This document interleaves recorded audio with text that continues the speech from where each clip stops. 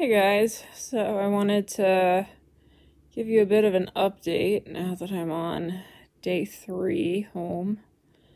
Definitely has been a huge morale booster in terms of being around people who actually care as opposed to the doctors and workers at Hershey.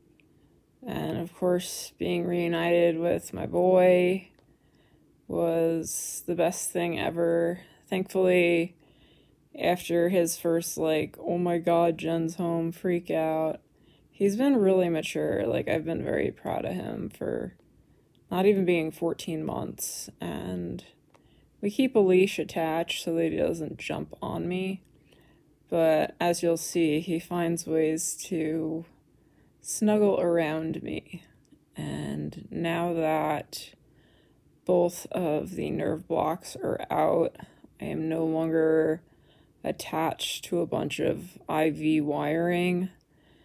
The femoral nerve block wore off around 8 o'clock last night.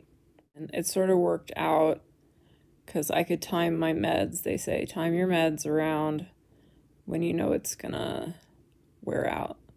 And I knew from looking at the popliteal block that it was gonna die sometime in the middle of the night, early morning.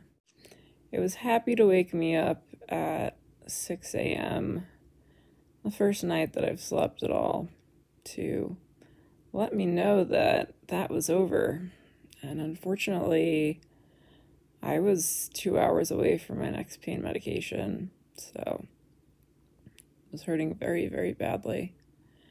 I was thankful that I was able to call the hospital resident yesterday because my medication regimen would work great for someone who's not a chronic pain patient with somewhat of an opiate tolerance at this point. For me, I'm basically, I get maybe an hour and a half of relief, and then quite honestly, I'm in tears from the pain and it's a matter of trying to either distract myself or fall asleep. But overall, just trying to take things one day at a time. I always try to overshoot things, and then I end up burnt out. And so I was like, oh, I'll get home and I'll make a video every day. But it's just not happening, and I know you guys are okay with it. And you know, if this kind of content isn't what you want to see, let me know. You know, if you want me to just simply focus on the whole stimulator stuff.